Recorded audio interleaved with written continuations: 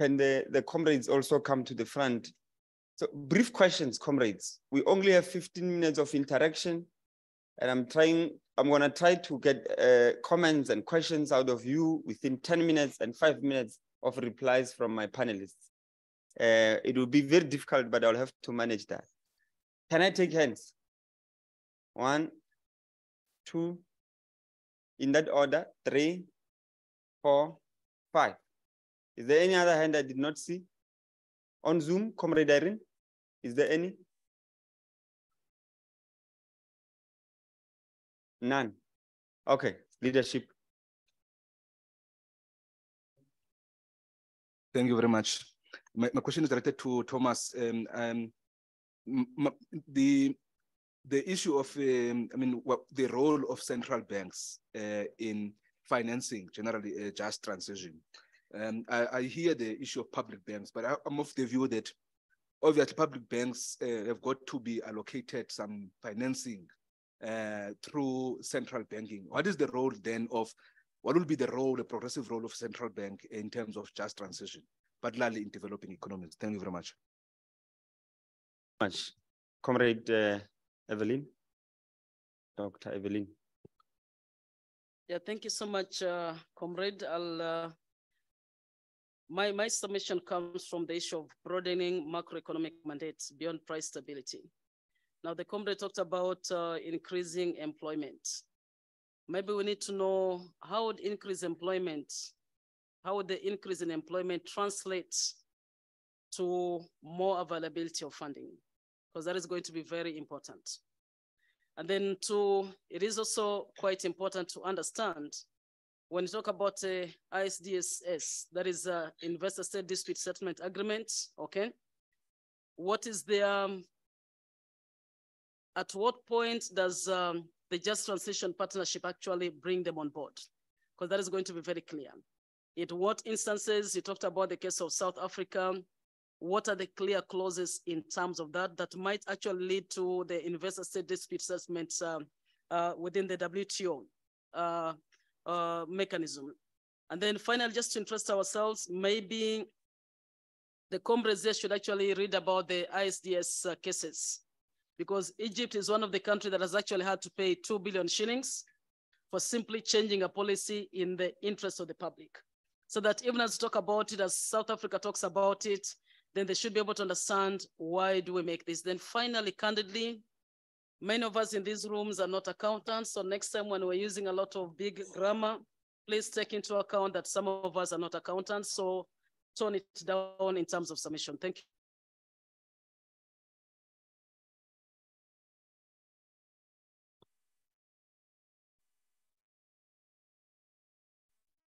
Thanks, thanks, Chair. Um, my, my first question is directed to uh, Comrade Busani. Uh, it's in relation to what they need to fill um, the financing. so I just need some clarity because you spoke about um, obviously the JET IP being um, 8 billion. And then uh, you said that there's a there's a 97 billion of financing gap. So my understanding of that is that if we if we talk about a financing gap, then we are making the underlying assumption that we would have then taken the eight billion.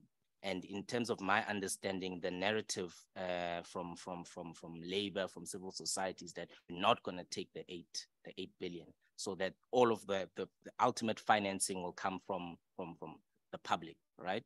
So uh, I just needed some clarity in in in in in terms of that. And then, no, no, just one last question. Uh, you also spoke about the bilateral investment uh, treaties uh, that that are currently existing. You spoke about the fact that um, we have gotten rid of a lot of them, but there's still few in existence. Uh, my question is, how far are we in getting rid of the few? Uh, how long will it take, and will this improve the situation insofar as the discussions are concerned? Yes.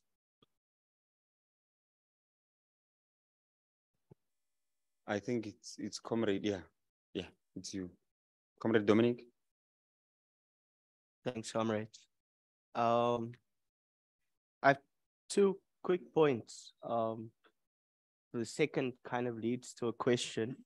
Um, the first comment relates to uh, macroeconomic constraints, and there I think over and above policy mandates in relation to price stability, we should also be cautious um, and wary of um, uh, the need for balance of payment stability, because this in itself entrenches a neoliberal economic framework and necessitates the need to raise um, the resources to finance debt service costs from increased financialization and of course export-led growth models becomes at the expense of um, investments in local economies. But more than that, um, I think that we see uh, how this also leads to an additional point to your important presentation is that how it leads to high domestic market interest rates, um, given um, the inequities within um, global currencies and the implications for um, currency stability. So I think these must be factored in. And I mean, in part, I wonder then, um, do multilateral development banks not represent similar threats as other international finance institutions? That's not to say that in principle, being against them, but I think it requires lots of work to transform it. And then I'm wondering, um, in terms of a triage system, is that the best immediate way to get finance? Okay. And that brings me to my second point, which is um, in line with this idea of public public partnerships. And I think one potential pool of finance that's missing from the conversation is the role of public pension funds and what they can potentially play in unlocking the resources needed for investment in infrastructure.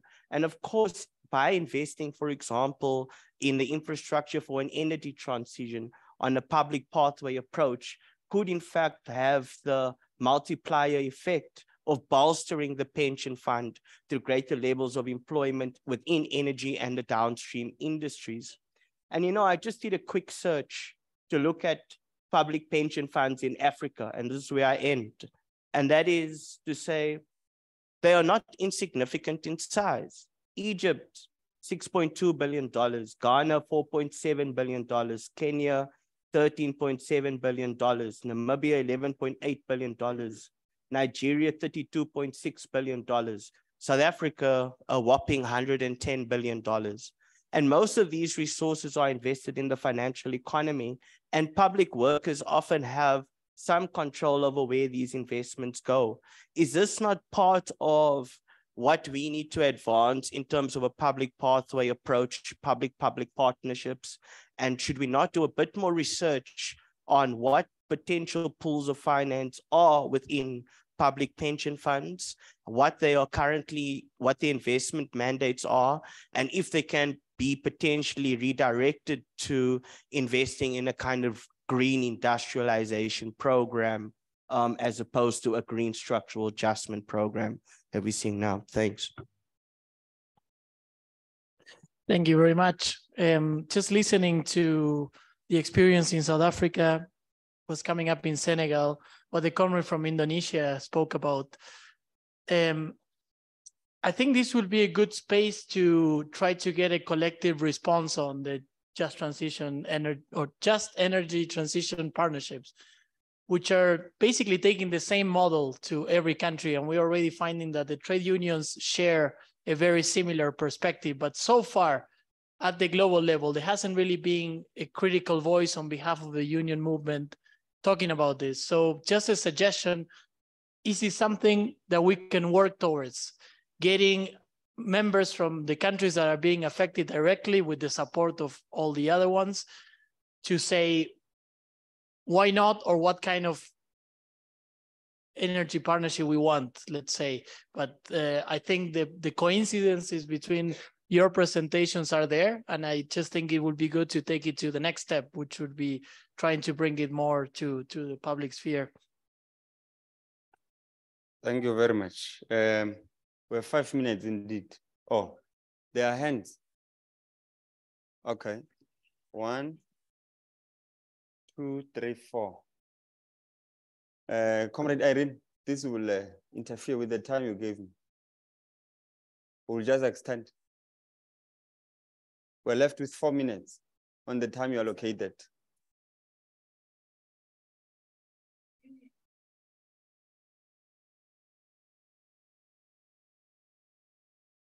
And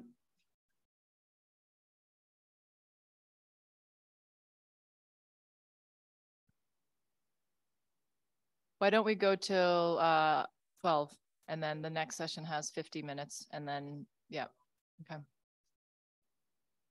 Thanks. one minutes each. One minute, brother.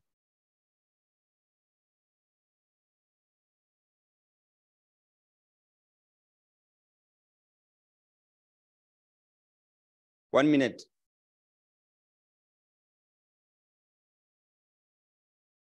Okay. Um, thank you, Chair. My question will go to uh, Comrade Dr. Busani Baloyi um, around uh, the macroeconomic policies uh, and the implications that the loans have on on, on the macroeconomic policy. Uh, you you talked on how the loan conditions are not stipulated and those conditions impose some sort of restrictions to our macroeconomic policies. And as a result, countries are forced to practice some financial stability or financial prudence uh, in, in order for them uh, to maintain some kind of stability within um, the um, within their economy. But now the issue is that maintaining financial prudence comes with a lot of impact on our macroeconomic policies, such as increased unemployment rate, issues of lack of investment on our public services, um, poor health uh, services, collapsing health, uh, actually health um, uh, sector, and um, and issues of lack of housing, for instance. So all these public services are affected as a result of countries having to maintain this financial prudence or stability. That then results to an, an economic instability. Now, the question is, how are these um, institutions, financial institutions, then benefiting from a country that has a collapsing economic economy as a result of them being forced to actually maintain this financial prudence that uh, have been imposed in these loans that um, they get um, uh, granted. Um, yeah, let me yeah, let me end it there. Thank you. Sean will be the last and can help uh, assist in answering. Comrade Andile, and then and then. Just a general question for the panel. Um, how do we bring our critique of the JET IP into the public sphere? Specifically, if we're trying to get people mobilized in resistance to this green structural adjustment, a lot of the language in the JET IP is to most people confusing, jargony, and on the other hand, public power utilities um, across the continent are ailing. So if we're trying to mobilize people, how, what kind of political language are we going to use to get people to understand what the JET IP is and why it needs to be resisted? Thanks. Merci beaucoup. Euh, je ne serai pas long, mais vu hier, euh, par rapport à le, cas de la Chine, je me suis dit euh, au niveau du Sénégal, nous sommes trop, trop en retard. Et ceci pourquoi et comment on va faire? Nous devons nous lever, nous les syndicalistes, la société civile et tout le monde, pour échanger, discuter, surtout sur les contrats, en signant les contrats avec euh, la Banque mondiale, la FMI, la BAD. Il faut que les syndicalistes soient présents dans ces comités pour qu'on sache exactement qu'est-ce qu'on signe. Et les dettes, la dette euh, sénégalaise est énorme. Et comment on va faire pour euh, effacer cette dette? Et alors que nous sommes un pays très riche en matière, en énergie renouvelable, je vais en parler demain, mais euh, toujours je me dis pourquoi, comment on va faire pour que le Sénégal aille en avant.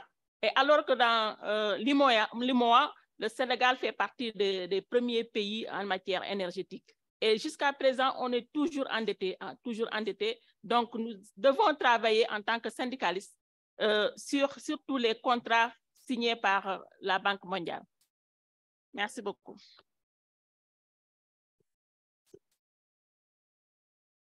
Re- really quickly, and I, I think this will probably, we should flag this for the final day when we talk about next steps, but I would like to suggest that in the room we have, in a sense, Indonesia, we have Senegal, and we have South Africa, with the three principal countries other than Vietnam. We don't have union contacts in Vietnam yet, although we are working on that. Remember, the trade union movement is structured differently in the Vietnamese context.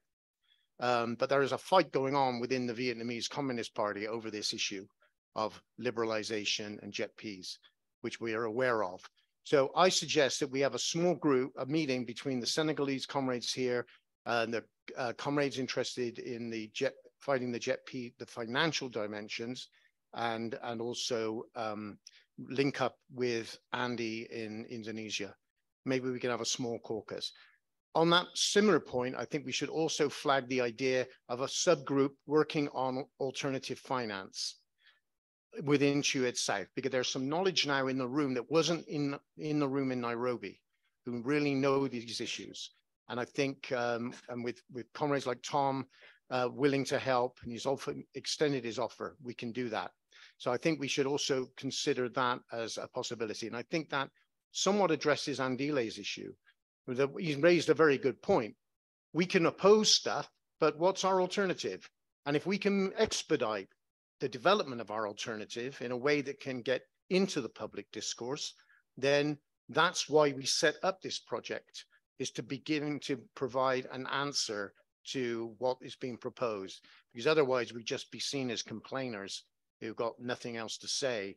And last point on this, and it'll come up in the later in sessions today, there are cracks in the multilateral system that are very deep now over the question of global public goods, sustainable development, massive cracks, and really questioning the whole structure of the role of the international financial institutions from within the international financial institutions. So they're not a monolith, and I think we should make those cracks wider. So let's talk about that in future sessions. Thanks, comrades. Thank you very much. Uh, let me give to Comrade Busani. And then uh, I, because I think questions only posed to two, Comrade Thomas and Comrade, and you have a loaded. Just to say, um, thank you to my fellow panelists. It was it was amazing uh, listening and hearing about your your context. Um, so the the first question around um, broadening the the macroeconomic framework, increasing um, increase in uh, in employment uh, uh, as part of the ma the macroeconomic mandate. How do we raise more funding towards this?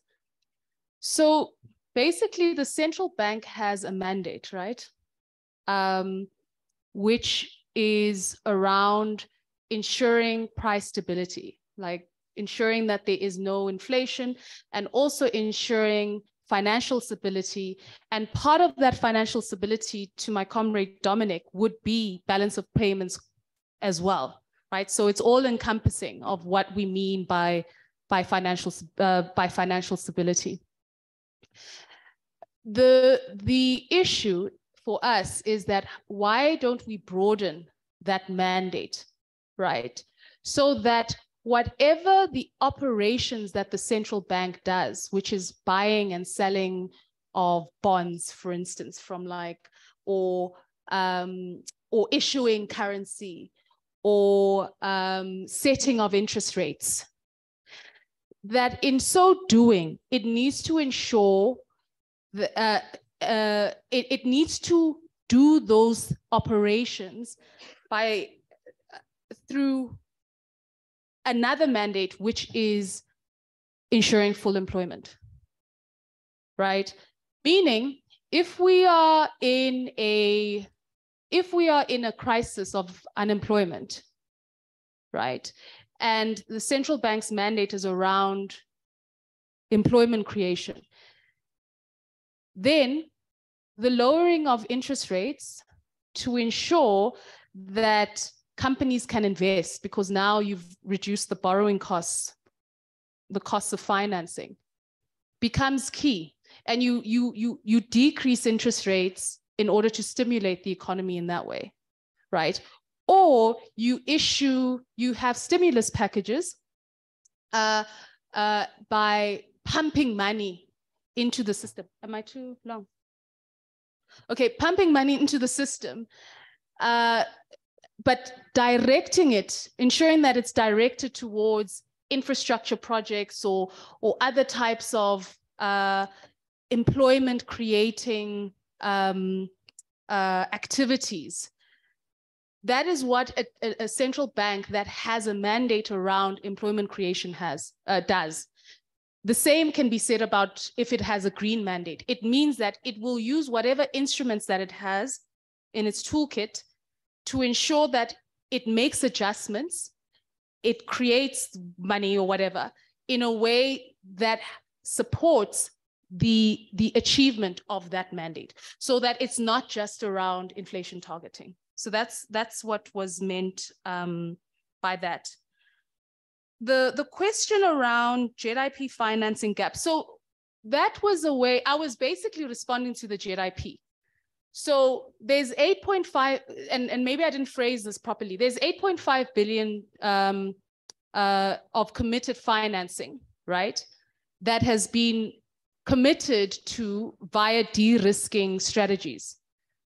And for that, we say that through this approach, there are a range of risks, right, that that whole thing entails. And therefore, it's it in its current package, it's not to be accepted. There is the ambition, right, by these very partners or to have 8.7 billion, 98.7 billion or whatever it is. The question that is, can you raise that money via de-risking? Right? Can you? The answer is no, right? Because of all the reasons I stated, right? You will struggle to do so. You can de-risk and de-risk as much as you want, right? Create avenues of, uh, and which is why even through this de-risking, the scale of financing historically has not come to the multilateral finance. It hasn't, right? There is this understanding that we are not meeting our climate ambitions as much as we want, but the climate needs are, are, are, are, are humongous. The question then is that what kind of global financial architecture is in operation that is blocking the mobilization of that financing, number one. And within that, how does that, that then shape the, the, the macroeconomic policy frameworks of countries so that it makes it, it, then they become constrained in doing so. And, and, and because it hinges on de-risking, you won't meet those, those, um, those, you will, you will not reach the scales. But when you, even if you get some money, the costs of that are high. That's the challenge. Thank you. Uh, there were a range of others, but I don't have yeah, time. We don't have time. I have to be strict. Sorry. Sorry.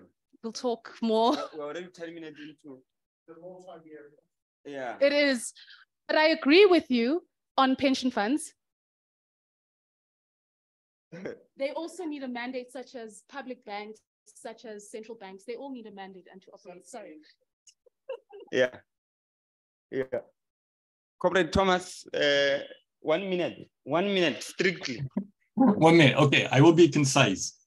I agree with everything on central banks. I would emphasize that central banks can play a progressive role in fostering public-public collaboration with public banks as a matter of policy, but more importantly, getting out of the way in terms of democratic governance of domestic public banks, which they often uh, block, particularly union representation on domestic public banks.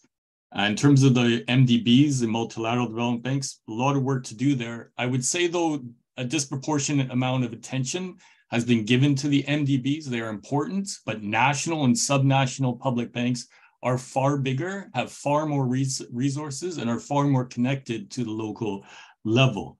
And um, in terms of like the language around just energy transitions, I would point to the public banking movement in the United States. They've done an amazing job of reaching out and connecting the question of public financing, the creation of public banks to marginalized, underserved, and racialized communities, particularly around just energy transitions. Um, and then uh, two, two final points. The question of pension funds is fraught. I would point towards the Canadian Union of Public Employees uh, that you might want to connect with them. Uh, it is a huge issue and there's a huge problem because the pension funds are profit oriented. And so they pushed the mandate of the Canada Infrastructure Bank to be profit, to be private, uh, about mobilizing private finance for profit. There's an important job and work to be done on linking those. Finally, just a note, uh, Sean, in terms of Vietnam, I'm actually doing some work uh, with UNDP and UNCTAD and Vietnamese government on the creation of a new Vietnam climate bank. Um, and some interest around that, and there are tensions, and that needs to be explored, and a pro-labor, pro-public vision on that needs to be um, emphasized. And uh, to make these as a hub of expertise for the public sector by and for trade unions. Thank you. Thank you very much. Uh, this brings us to the end of our session. Thank you very much to the panelists. Uh, we couldn't manage, the only enemy here is time. Um, we will, of course, find time during the course of the day and tomorrow to discuss even further. Thank you very much.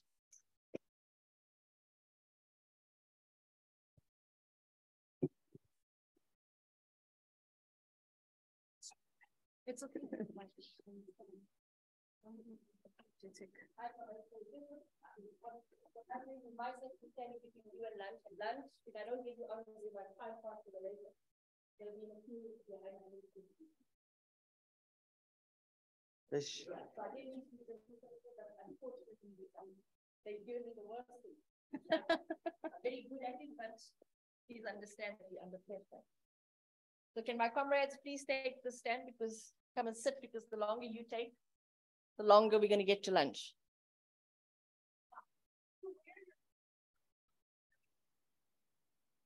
The language that you want to listen in, it will be very clear coming through the headset.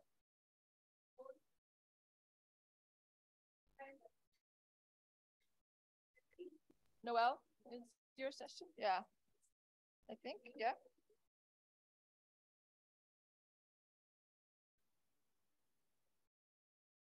Oh, yeah, yeah.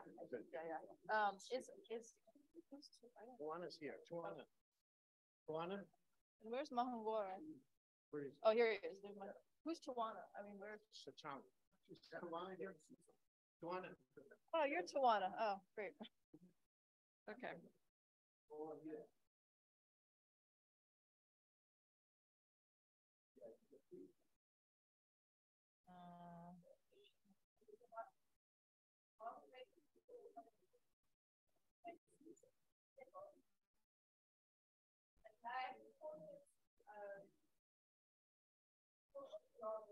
Facilitating the session, I think.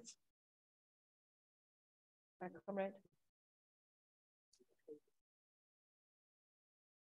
What, what has been quite interesting thus far um, in the sessions is that we've been listening to the challenges that we've been confronting by, as communities and trade unions. What's interesting about this session is that we're going to have the opportunity to really think about, and I think it, it speaks to Comrade um, Andile's point, how do we actually start articulating for a public pathway, noting that there's so many challenges. And I'm hoping that from each of the presentations, comrades are going to be a lot more practical. Um, I think what I'm seem to be missing, and I think, uh, Comrade Bruno, your point um, was something I was actually going to start with. Where is the articulation of our just transition pathway? And I want to be a bit provocative to with Sean. I don't think we need, the alternative is there. We were the alternative as the public sector. The point is what they're presenting is the public, as the private sector as the alternative because of certain conditions within the public sector. So I think we, we should be in some ways proactive because we don't want to be on the defensive. I think the answers are there and the fact that many times after privatization, we go back to the public sector means that the public sector is the answer. We need to be articulating what are the agendas. I think what's also coming through quite substantively, and again picked up by Bruno, your point about how similar the, the challenges are, regardless of which country you're going to and which part of the continent. If it's happened in Latin America, it then goes to Asia, and then it comes to Africa. And the fact that we continuously, as developed and developing countries, fall into the same trap, repeating the same processes. I mean, it's almost as when they talk about us being part of a global village, when you listen to the stories, it doesn't matter which country you're in, the story seems to be the same. It's how do we as labor, civil society, and those who are contesting actually get our act together in the same way that those are, that are confronting us are, are doing. So we need a really formidable contestation. So with those words, let me hand over to Comrade Sean, who I think I know no, needs no introduction. Thanks very much. Yeah, I'm going to condense what was a planned to be a longer presentation into a very short one, uh, because some of the issues will come up later. Um, I'm going to refer you to the description in the program because I think it it sort of covers what I um, what we, we need to discuss at this point. And that basically is what we're seeing globally is some kind of impromptu reclaim, reclaiming of energy systems by governments. And it's usually done in context of crisis. Uh, obviously, the Ukraine war led to massive increases in prices, which completely threw the electricity markets into so much chaos. The price increases were phenomenal, and governments intervened both with price protections for end users, but also in the case of countries like Australia, they actually decided to abandon the uh, wholesale markets in electricity. So the question I pose, or we've posed in the program, the organizers of the, if you like, TUED, um, is how do we turn these impromptu rec reclaiming initiatives, let's call them that, into something that is coherent, in other words, the public pathway. How do we use this moment and try to connect you have, and the question is, how do unions um, offer that coherent answer that can cut across um, all the different situations internationally where this is happening. So I'm going to put up a few slides. You can see this first one um, is the um, just a, this is really more a segue into the discussion. This is the Overseas Development Institute. It basically crunched the numbers. All of this is in the framing document, by the way, about how little money has been mobilized by blended finance. The whole idea was, as we discussed in the previous session, billions to trillions. That was the World Bank. Billions of public finance would mobilize trillions in private sector. It was never explained what the mechanism was. Why would public money put on the table match be matched many times by private money? It's never been explained. And the more you look, the harder it, it is to find the explanation. So this, I think, is beginning to fuel the, our alternative. Now, I want to go back a bit in history. Next slide, please, Irene. This picture was taken um, 11 years ago, I think, yeah, 10 or 11 years ago in Johannesburg at NUMSA. NUMSA organized this conference, Renewables Too Important to be Left in Private Hands. So the, the, the beginnings of the discussion, and it was very, very superficial, no criticism of, of NUMSA.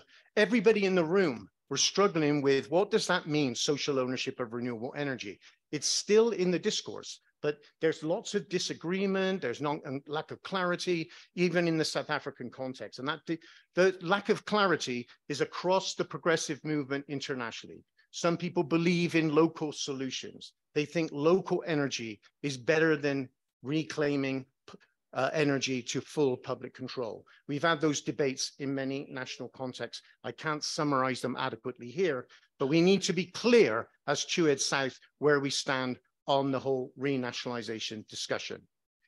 This is the development platform of the Americas that was started in 2012 and has been updated since. This is the Trade Union Confederation of the Americas, um, which is the all of the national affiliates to the International Trade Union Confederation. In the PLADA document, referred to returning energy to public control. It didn't really go into too much detail what that meant, but it was there and it was another step in the right direction. Next slide, please.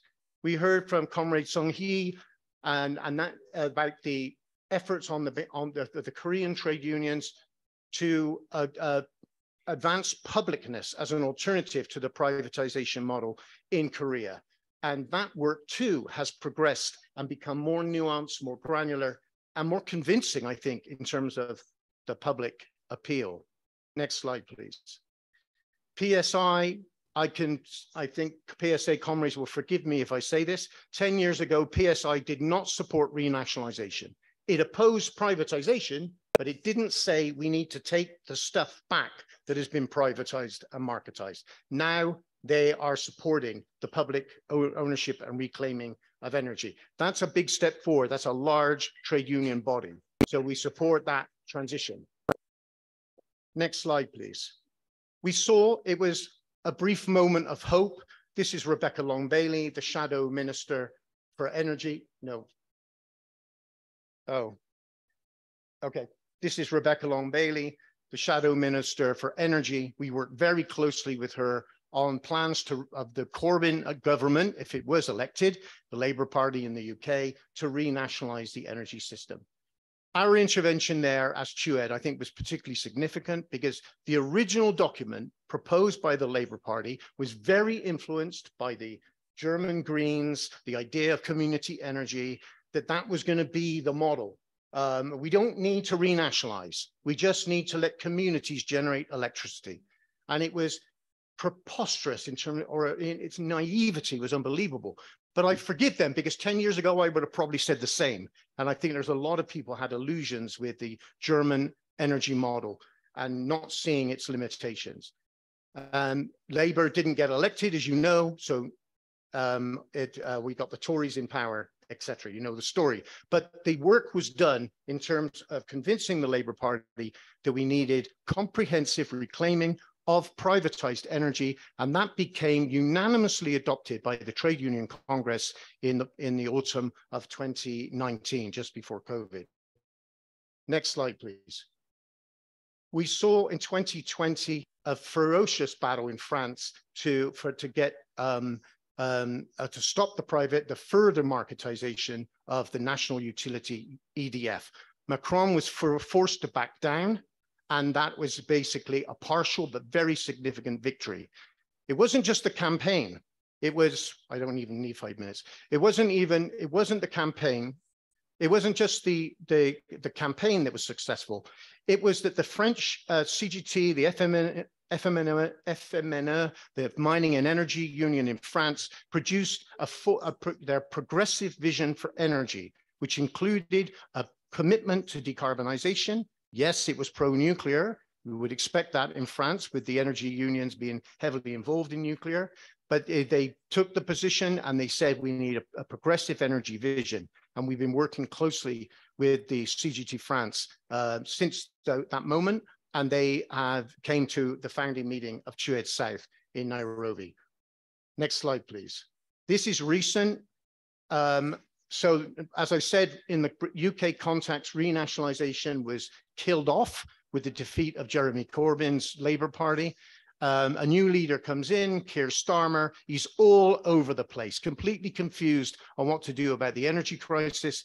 And this is the largest union in the UK and probably the second or third largest union in Europe, Unite, urging Starmer, if he's elected and they have a big lead in the opinion polls, to renationalize energy. So it's in the discourse. Next slide, please. This is going back again to TUED's contribution. In 2021, we convened a global trade union task force for a public energy future. We got a big document that's just about, well, I say just about, maybe in the next few months will come out, which talks about the role of reclaimed public utilities and what they would do similar to what they used to do in terms of energy planning and delivery, in a public goods mandate, but also what they would do differently in terms of pivoting more towards energy efficiency and conservation. So this is also part of the discussions on reclaiming uh, power companies to public ownership is what would they do different? What the new mandate would look like. Next slide, please. I'll skip the next few slides, Irene, if you don't mind. Um, I'll go to the Eskom Final Forum slide, next one. Okay, this was, I think, a significant document. This is now three years old. We did with AIDC, Transnational Institute, where it looked at the real crisis of neoliberal policy, the failure of uh, um, the energy privatization, and the need for a new Eskom that would be armed with a new mandate. Very difficult message to sell in the South African context, given the purported and real probably corruption of the of the utility and the mafia and the gangsters who were inside it that were brought in as part of the privatization and marketization efforts of the ANC government back in the 2000s. So they blame it on a public entity, but it's the private actors in those public entities who are basically causing the damage. So there was a, this was a good, I think, contribution to the renationalization and the reclaiming discussion.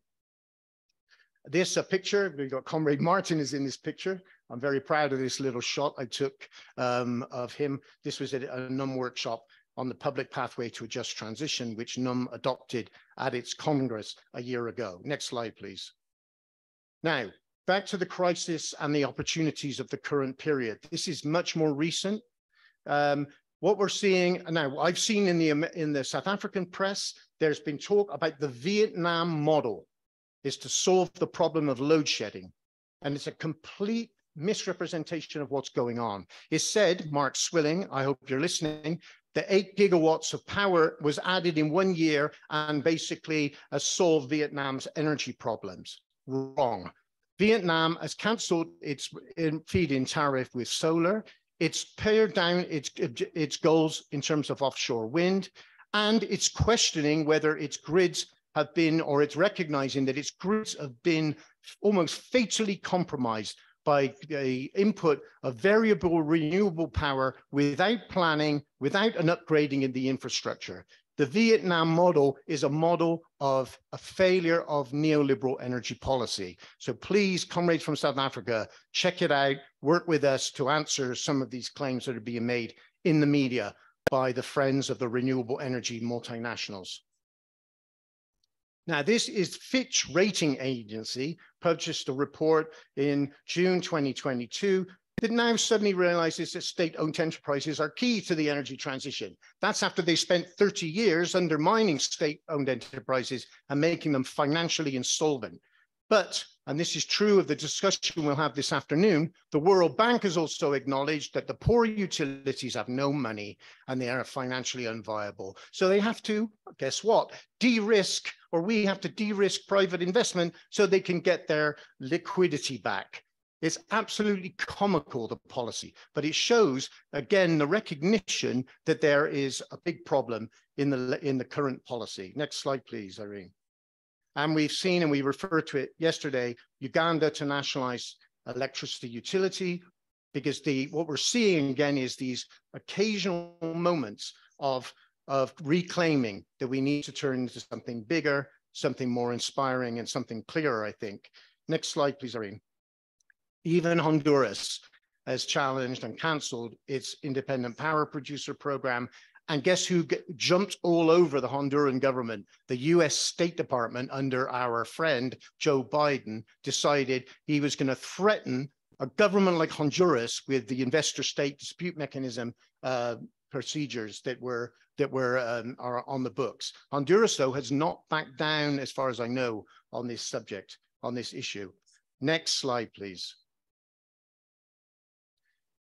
I don't know what this one is. I've forgotten Ghana. Thank you. I can see now. Yeah. similar, similar, uh, chose to pay, I think, um, I may be wrong about these numbers. The Ghanaian comrades will help me. Something like $450 million in compensation to independent power producers in order to get out of contracts that would have cost them one and a half billion dollars. Again, this is um, sign of the IPP system being resisted, albeit sort of unconsciously and on a piecemeal basis. Next slide, and I think this might be the, I got two or three more slides and I wanna focus just a little bit in the one minute I think I have left, which is on Mexico.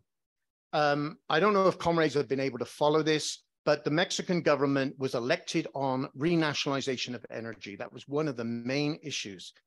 Four years ago, uh, Morena, a new party on the scene in Mexico, won 60% of the vote, has got now the president has 80% popularity, which is kind of phenomenal in Mexico, attacked by the right wing, not just domestically, but internationally for violating the principles of the free market and of being reinstating the national utility as the primary energy producer in Mexico.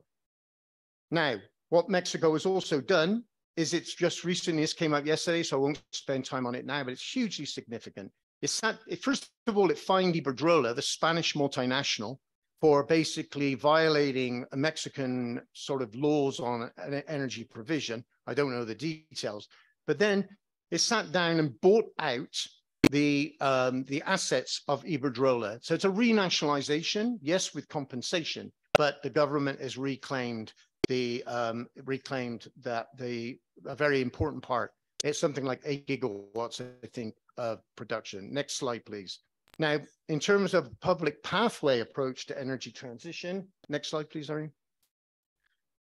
What we've seen Mexico do is a lot of, a lot of the left, including, unfortunately, the environmental, a lot of the environmental groups have basically criticized the government in Mexico because of its cancellation of renewable energy contracts, saying, oh, you just want to go back to oil and gas. You want to go back to the old fossil fuel based economy.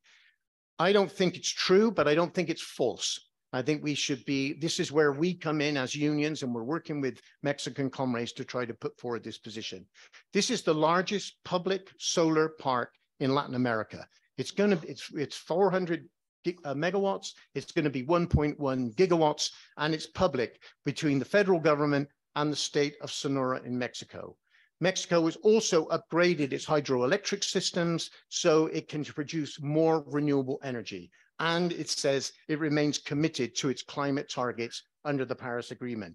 Again, we're not trying to say that Mexico is a model, just as yesterday we weren't trying to say China is a model, but these are signs, I believe, comrades, that renationalization can become a, a trend in world policy and it also can be supported by unions, but we have to make sure it goes beyond piecemeal defense of public energy or even minor extensions of public energy into a full-fledged, full reclaiming of energy in order to set the stage for a public pathway approach to an energy transition. So I'll stop there with those thoughts. Thank you.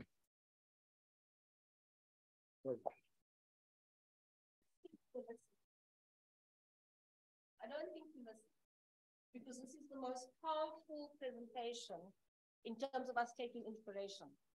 These are struggles that are actually contested. Oh, sorry.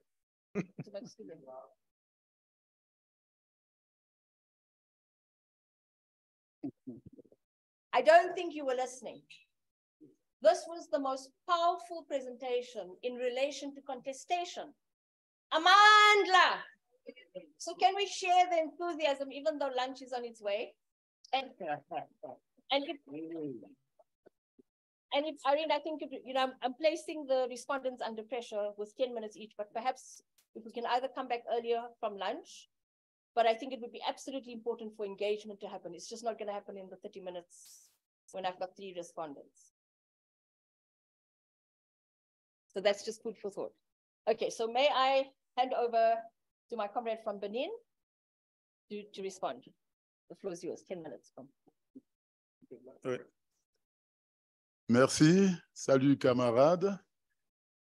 Alors, je me présente à vous. C'est Noël Chadaré. Je suis le secrétaire général de la COSI Bénin, la Confédération des organisations syndicales indépendantes du Bénin. Une, une organisation syndicale représentative.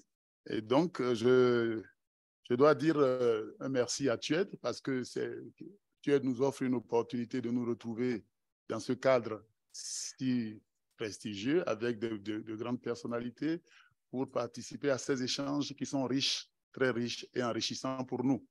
Et ça, il faut le dire parce que depuis hier, ce que j'ai appris, j'ai beaucoup appris. Je vous remercie pour nous avoir invités à cette occasion. Et on espère, on en redemande encore des, occasions comme celle-là. Alors, l'autre chose que je peux dire, c'est par rapport au Bénin, le pays, c'est un petit pays. Euh, il est un petit pays limitrophe de, du Nigeria. et grand Nigeria. On est frontalier du Nigeria avec le, le Burkina Faso, le, le Niger et le Togo sont les pays avec lesquels nous sommes l'Afrique de l'Ouest. L'Afrique de l'Ouest, c'est un pays de 114 760 km et avec environ 13 millions d'habitants, 12 millions 900 et quelques habitants. Donc voilà un peu. Et dans cette société, dans ce pays, on n'a pas parlé, on ne parle pas de dénationalisation parce que la société qui gère, qui produit, transporte et distribue l'énergie, c'est la société béninoise de l'énergie électrique, une société d'État. Société d'État qui a survécu à la dénationalisation parce que le Bénin a connu une période de marxisme-léninisme jusqu'en 1989, 17 ans, et tout était nationalisé. Et, quand est arrivé le pouvoir, le pouvoir libéral, eh bien, on n'a pas dénationalisé parce que on a estimé que c'était, n'est-ce pas, euh, une société très, très importante. Il ne fallait pas vendre l'électricité et le, privatiser. Donc, il est resté dans le giron de l'État. Quel est l'état de, quelle est aujourd'hui la situation de cette société dans la distribution de l'énergie? C'est de ça que je vais parler un peu maintenant. Eh bien, nous allons vous dire tout simplement, comme à l'instar des autres pays de l'Afrique de l'Ouest, il y a une dépendance, la société béninoise de l'énergie a une dépendance énergétique vis-à-vis -vis du Ghana, du Nigeria et de la Côte d'Ivoire. 90%, n'est-ce pas, de l'énergie consommée au Bénin vient de ces trois pays. Donc, le Bénin ne produit très, très peu d'énergie. Il y a un barrage hydroélectrique qu'on appelle le barrage de Nagbeto, n'est-ce pas, que nous avons en commun avec le Togo et qui, n'est-ce pas, produit l'énergie hydroélectrique. Et nous avons aussi hein, la centrale thermique de Maria Glita, c'est ce que le Bénin, les sources de production, n'est-ce pas, d'énergie de la SBE. Alors, le réseau, donc il y a cette dépendance, et ensuite le réseau de, de distribution de l'énergie électrique qui est, qui est, obsolète, complètement dépassé. Hein, l'énergie conventionnelle, je vais dire, est complètement vêtue ce réseau parce que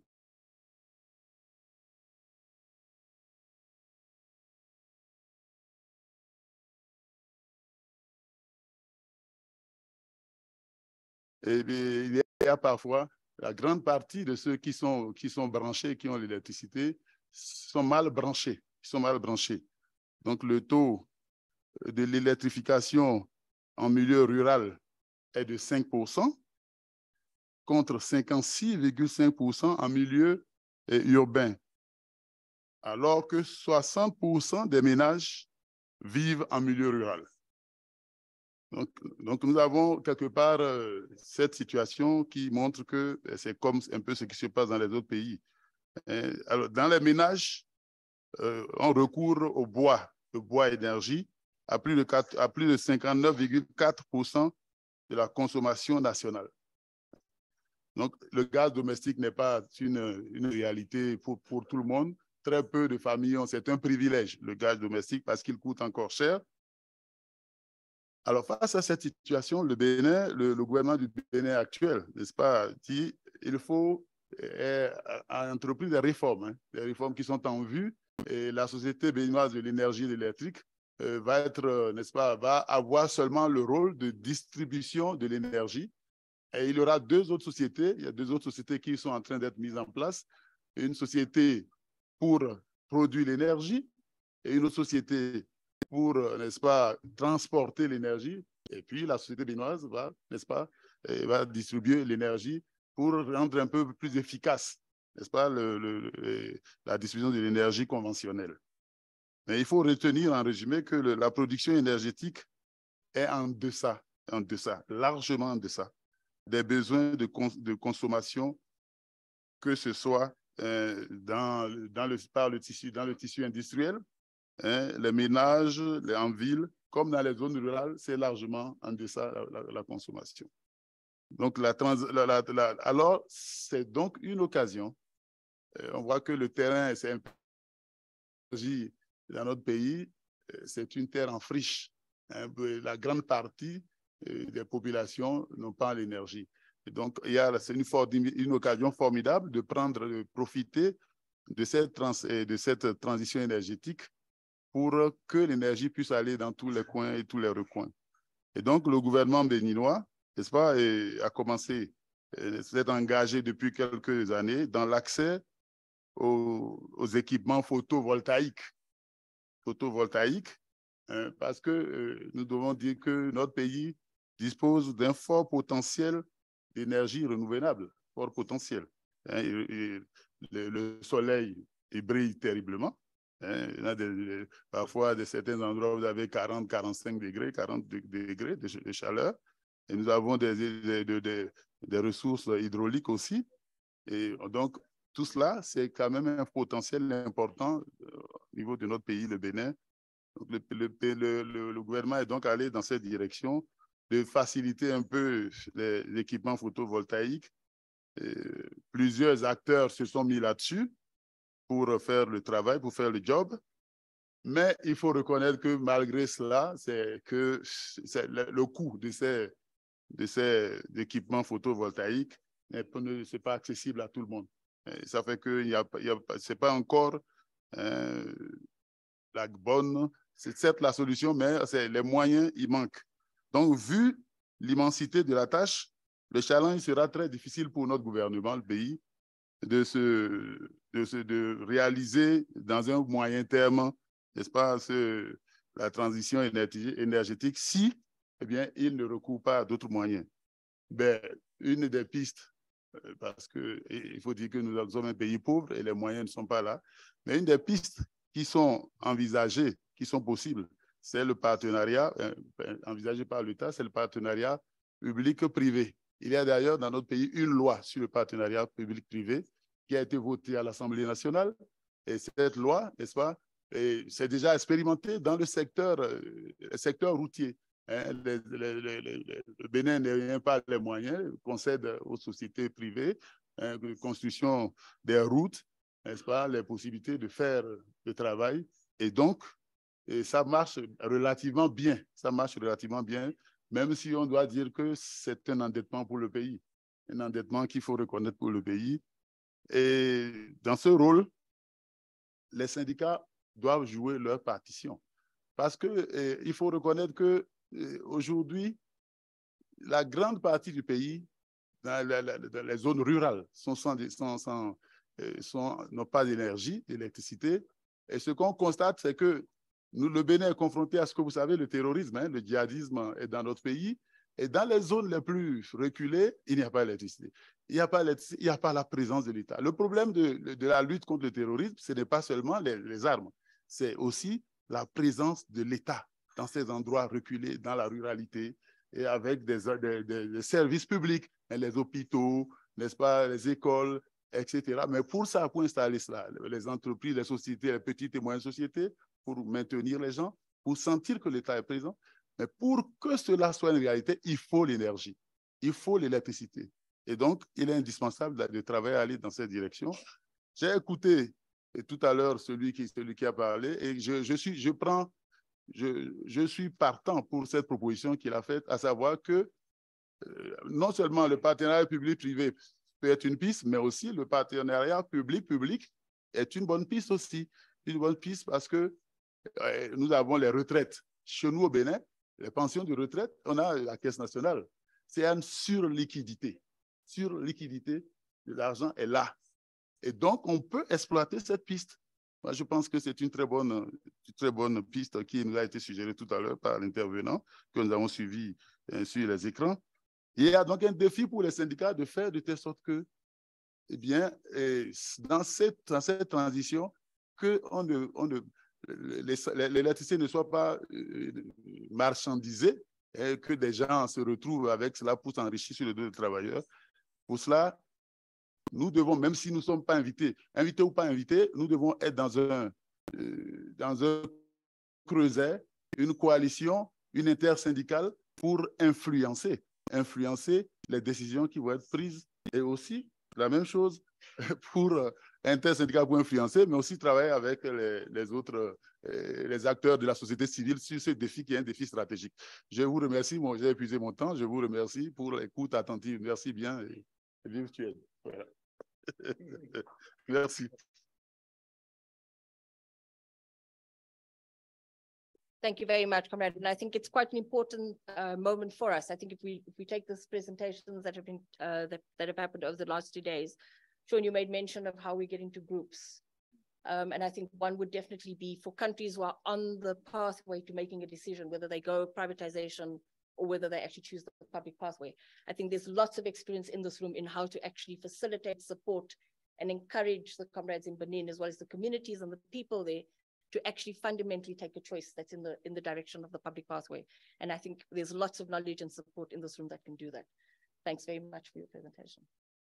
I now hand over to Kavanaugh from uh, Namibia, and then I'll give you last. Yeah. Yeah, thank you very much. My name is Mahongora Kabihua from Namibia, the Regional Congress of Namibia. Um, Namibia is a country we are um, accurately vulnerable in the sense that most of our energy, close to 71%, is being imported. It is imported from Eskom, although they are in difficulty, at least they, they, they give 18% uh, lights and life in Namibia. Also from uh, Zimbabwe and Zambia. Zambia account for 32% and Zim account for 9%. Of course, the, the producer is a state and it um, produces both from hydro and the coal, uh, coal um, producers are always on standby, it's not running 24 hours. And we also get um, some electricity from the Southern African uh, power pool of around 9% as well um, in order to light Namibia. However, beside the, the, the NamPower, we have what we call a regulatory body, which try to regulate prices. But of course, that body is also state appointed. And um, the influence of the companies in terms of regulating it, the pricing, uh, there is very less public participation because recently they have even increased the, the bulk electricity um, kilowatts with 8%, but the justifications thereof was not shared, not with trade union or public in general. However, on the distribution part, there are three companies that are also state, that are, the country is divided into three parts, north, central, and west. So now this become a, a middleman. Um, it was uh, objected severely because when you introduce a middleman, it affects the consumer price. And I'm sure that we also we also need to interrogate those kind of um, I mean I mean I mean arrangement. Do we need really to have a middleman uh, through the dismantling approach that is being created here? And who will fit that bill? And to what extent our members going to be affected? However, also there is a IPP, uh, which also contribute 9% of electricity, uh, 14 of them are solar and only one wind. But however, the question comes, can trade union participate in this? I'm sure that people are talking about the public public where they're mentioning about pension fund and you name, the list goes on. So do you want uh, the trade unions us to engage and also become a kind of uh, IPP uh, or what do you want us to do? Because these things, I mean, been been, been unpacked. Uh, of course, the pension money is the workers' money. It's not public money. But if we have to redirect our money to be reinvested in this kind of activities, is that approach that we want? Or, or we need a different approach? Um, let me boil down now. After the, a rough um, background of Namibia, I want to boil down to the topic on the table. What can trade union do? Can we play a role or not? moving forward? I think we can, because if we've seen the presentations here, we've seen that um, some, uh, I mean, producers, electrical producers, electricity producers are also cross-border with other countries. So I think that we need to start encouraging bilateral agreement between trade unions so that we can start cooperating and start sharing information and research. Um, we also need to encourage this debate to be debated at the regional or sub-regional level so that we, because in SADC, we have that uh, Southern African power pool and all those kind of things. But I think that trade union we can play a role there.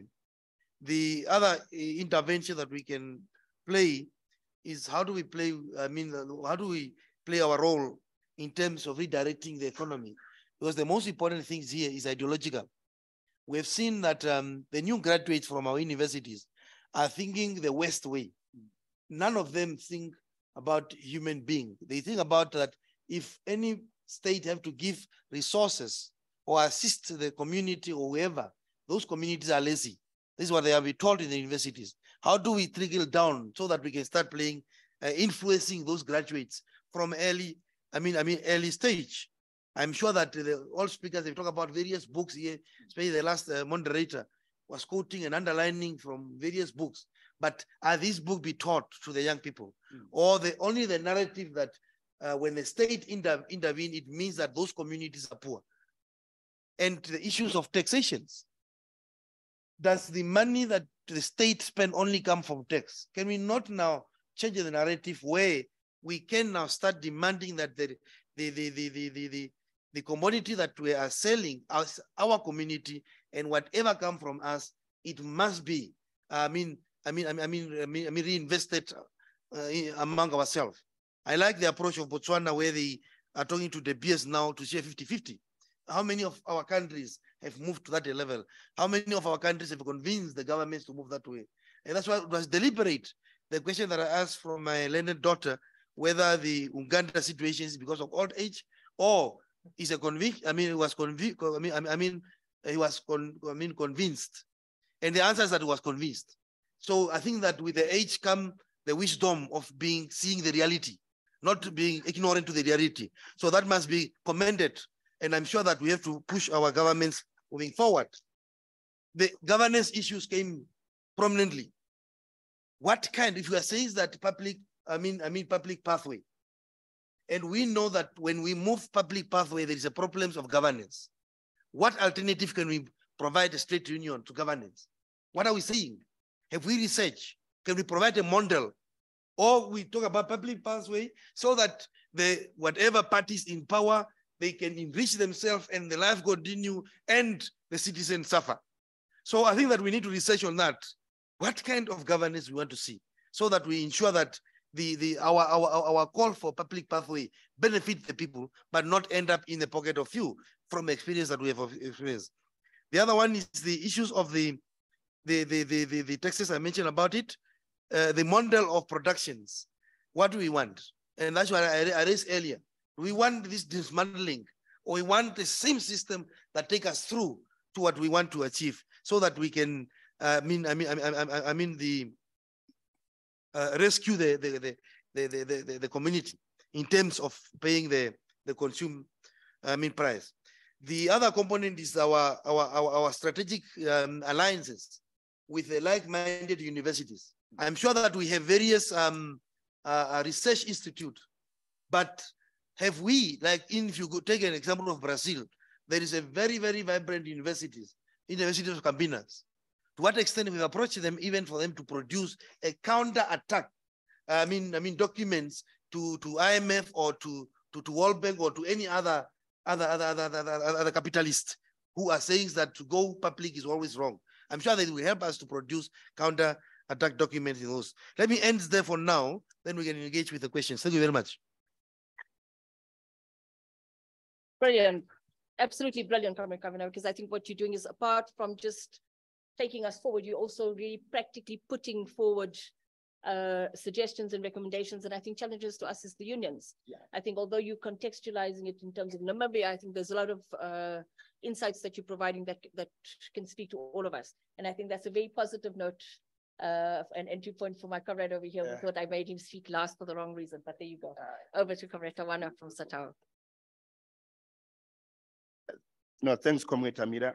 Uh, my name is uh, Tawana Mopedi. I'm the Secretariat Coordinator for the South African Transport and Allied Workers Union, uh, that is SATAWU.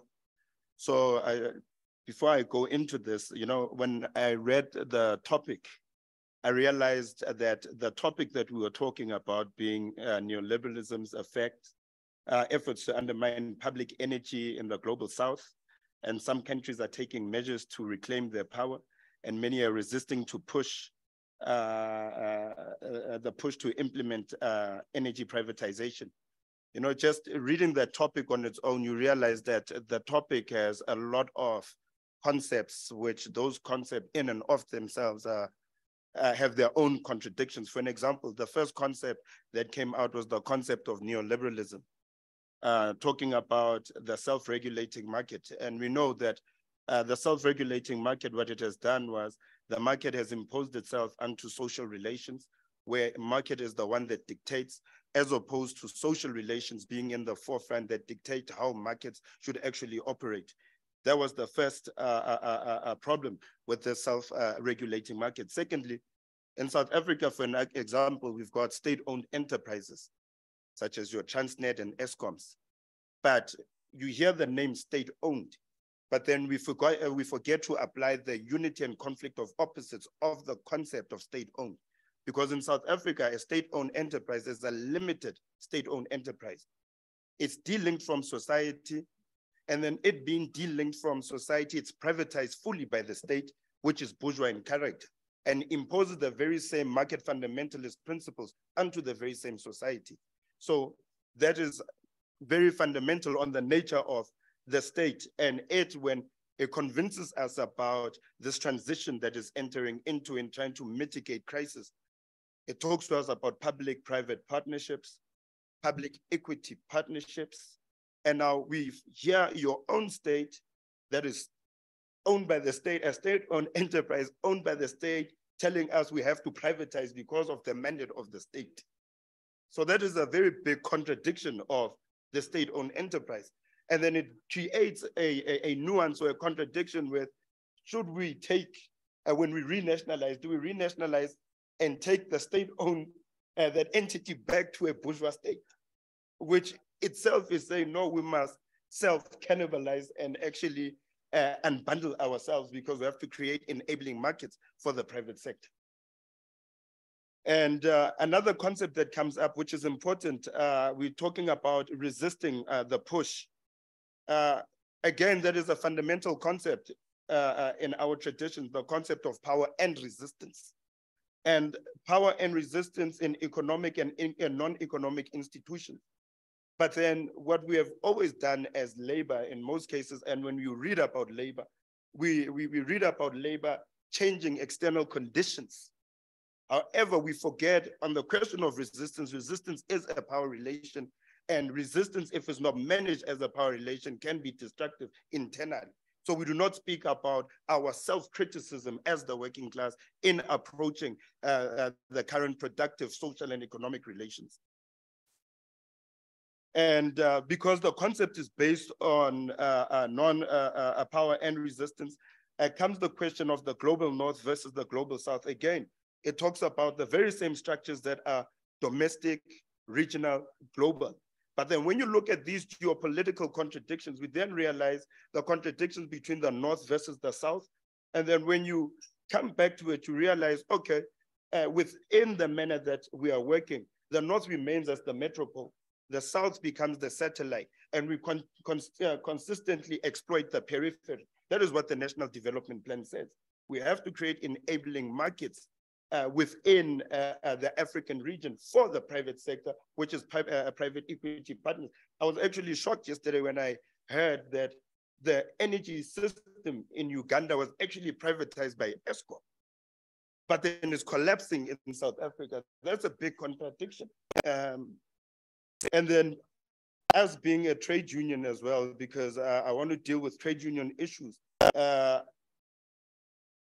our productive and economic relations, our existence is located in productive, in productive relations. And then these productive relations, when you delve deep into the relationship uh, of labor, you realize that labor and nature always enter into a metabolic relationship where they have to contradict uh, uh, the natural resources and then create final products that actually must circulate and benefit us, depending on the forms of production that are there, the type of political economy that is there.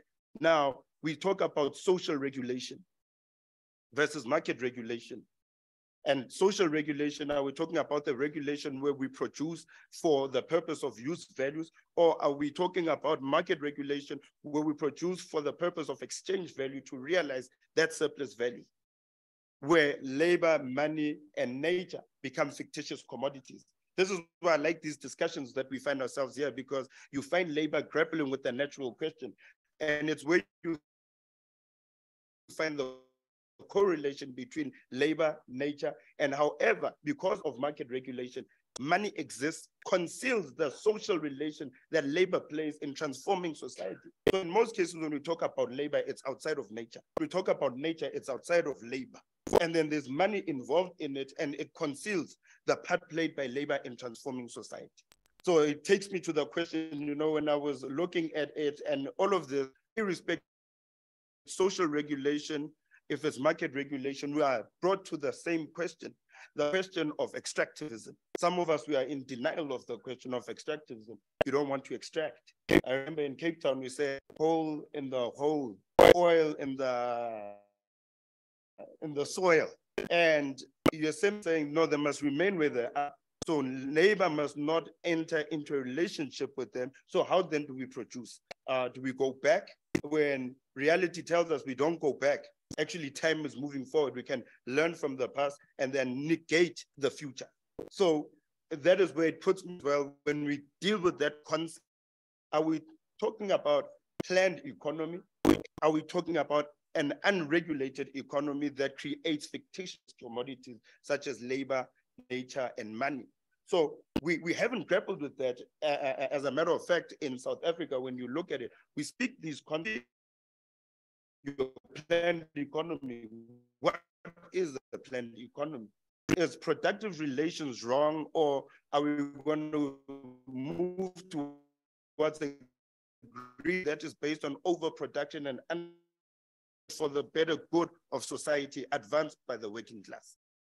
So, uh, uh, uh, Comrade Hamida, before I conclude, I'm going to come to some of uh, uh, the recommendations we did, uh, especially now when uh, uh, we talk about social regulation.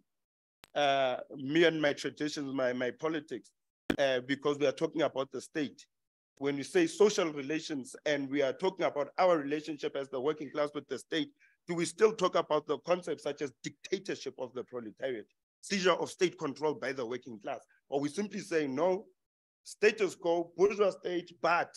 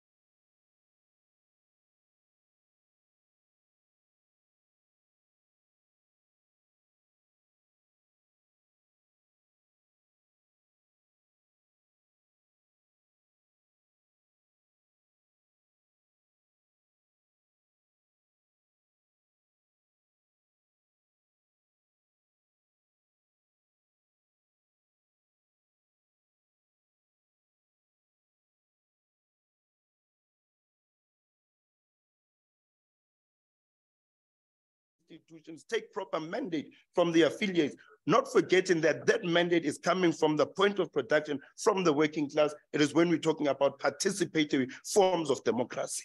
So their representatives in these institutions might not be getting the proper mandate and not getting the proper mandate, they too and those institutions that should be democratic run the risk of becoming oligarchic.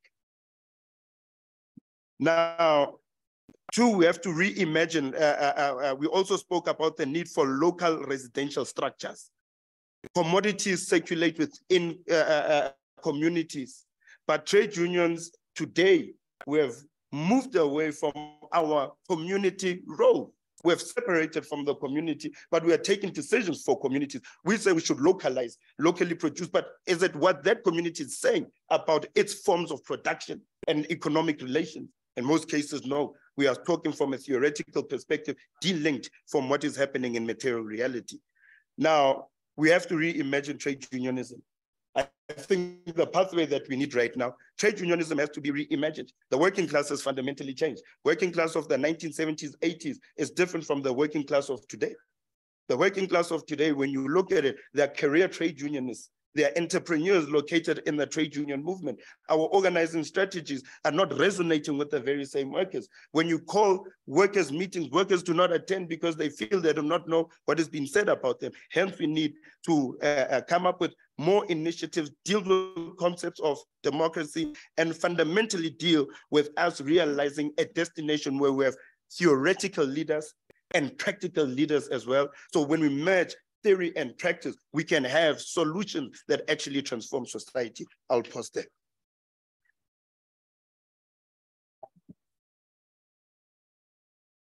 Thank you very much, Comrade Tawana. I think those were absolutely powerful words on which to close the session or uh, this part of the session. I think if there was ever uh, a misconception that there's a dearth of knowledge, articulation, and real analysis of what we confronted with as the trade union movement, I think is a young comrade, very, very militant, very, very powerful, very passionate, and absolutely articulate in relation to the real challenges.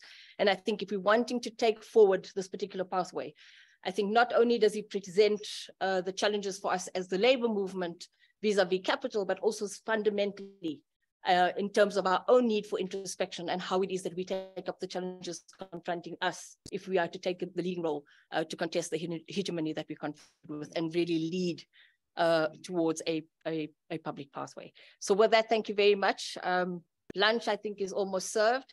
And I think we will wait for the conveners to then engage us in relation to what happens after lunch. Thank you very much. Thanks for, oops, sorry. Thanks very much, comrades. Um, a couple announcements. Uh, so lunch is being served now and we should get there quickly because uh, there's another um, group here that we're going to be competing with. So we want to get there before they do. Um, and that's how it's timed right now. Um, and because we're running late, anyways, um, you know what I mean. Um, the other thing is that there's going to be a group photo after lunch. So please uh, get back here at 1.45 at the end of lunch so we can take that group photo together. Thanks, everybody.